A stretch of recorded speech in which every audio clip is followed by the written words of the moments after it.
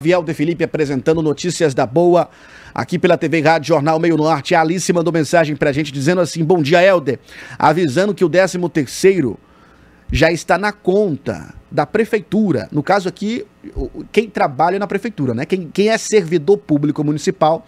A Alice já está nos confirmando aqui que o, a segunda parcela do 13 terceiro salário acaba de ser depositada na conta desses servidores públicos municipais da Prefeitura de Teresina. Olha aí, então já está garantido aí com certeza o, o almoço ou jantar da, da véspera e de Natal e também do Natal. 8 horas em ponto, seguimos com o nosso giro de notícias policiais. Agora, trazendo um, um, um caso de um vídeo que circula nas redes sociais mostrando um rapaz, um jovem, ele tinha 21 anos, o nome dele, Jackson Vinícius de Paiva Barros. Ele acaba assassinado aqui em Teresina com vários tiros. Caso ocorreu, ocorreu dentro de uma residência na zona sudeste de Teresina e o crime foi filmado pelo próprio atirador. A polícia, a perícia científica encontrou pelo menos 13 cápsulas deflagradas de arma de fogo. Ivan Lima também conta essa história pra gente.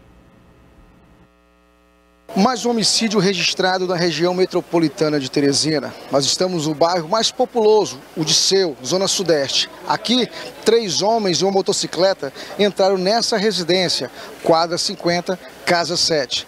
De acordo com as informações, haviam aproximadamente três pessoas na residência quando os homens entraram, mandaram todo mundo deitar e ali começou uma execução sumária nós vamos mostrar nas imagens o momento em que o próprio executor gravou o homicídio contra a vítima. Cachorro é a tropa do cachorro É a tropa, é a tropa. A tropa do cachorro mago tá na pista, viu? O que foi levantado é que o, o seu Jacques estava em casa e agora com mais riqueza de detalhes estava ele, a mãe dele, um irmão dele e uma pessoa que estava fazendo cabelo e as pessoas que vieram é, os meliantes que vieram fazer a execução, porque foi uma execução, vieram na perspectiva de realmente com foco no Jackson, que é, é, é foragido da, da, do sistema penitenciário desde setembro de 2023, mandaram todos os integrantes da casa deitar no chão e executaram exatamente o, o indivíduo que veio a óbito. É, possivelmente aí eles já estavam fazendo levantamentos em torno, porque a, segundo a mãe, apenas há duas semanas que ele estava aqui, né? Bom, aí essa informação que a gente ainda está fazendo o levantamento, o pessoal da perícia já está aí, o pessoal da DHPP também já está. Como foge da nossa esfera de atribuição, a gente não pode é, fornecer essa informação com riqueza de detalhes. A vítima trata-se de Jackson Vinícius de Paiva Barros, de 21 anos. Nós Chegamos aqui no local, acompanhamos o trabalho dos policiais militares e também do DHPP. Aqui, o delegado Danúbio Dias e a sua equipe já estão fazendo todos os levantamentos. Aqui na frente da residência, pelo menos uma câmera de segurança. E eles estão tentando aí fazer os levantamentos para ver se houve algum registro através daquelas câmeras. Foram múltiplos disparos né, que atingiram a vítima. Né? É, quanto à localização exata das lesões, o local das lesões, a perícia criminal, juntamente com o médico legista, que vai nos fornecer um relatório preciso dessas informações.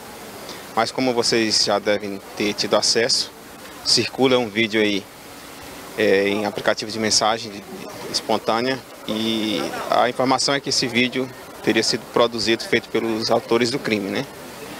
Nesse momento é preciso ter, se ter cautela, a polícia tem que checar a autenticidade e veracidade desse vídeo.